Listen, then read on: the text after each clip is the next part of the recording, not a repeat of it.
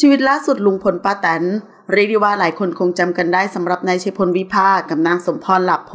ซึ่งนายชัยพลยังคงเป็นผู้ต้องหาคดีน้องชมพู่อยู่ และกำลังอยู่ระหว่างการประกันตัวเพื่อสู้คดี วันนี้เราจะพามาดูว่าหลังจากนายชัยพลโดนคดี ชีวิตล่าสุดเป็นอย่างไรกันบ้าง ต้องบอกเลยว่ายังคงมีเหล่าบรรดา FC คอยติดตามให้กำลังใจอย่างเหนียวแน่น และเหล่ายูทูบเบอร์ก็ยังคงติดตามชีวิตของเขาอยู่ หลังจากได้รับการประกันตัวยังมีคดีอีกมากมาย ไม่ว่าจะเป็นคดีรุกป่าจากคำพิพากษาให้รื้อถอนรูปปั้นพญานาค ออกจากพื้นที่ป่าสงวน ก่อนวันที่ 20 มิถุนายน